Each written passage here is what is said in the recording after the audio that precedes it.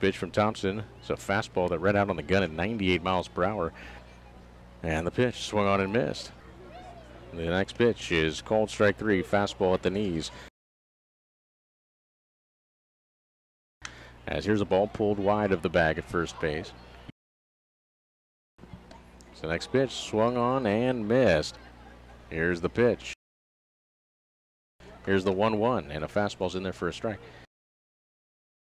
As here's a pitch chop foul. And here's the 1 2 pitch, and that is uh, swung on and missed. Good slider. And as the next pitch.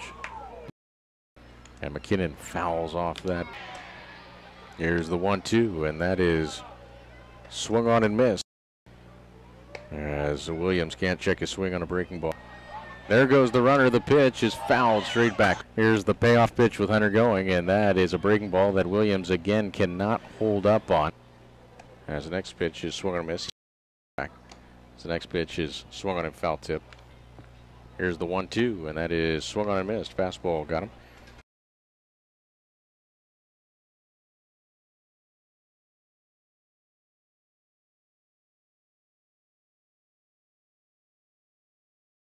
Here's the 2 2. And a good breaking ball swung on and missed. Back to back strikeouts for Thompson. And that's seven through four innings for him.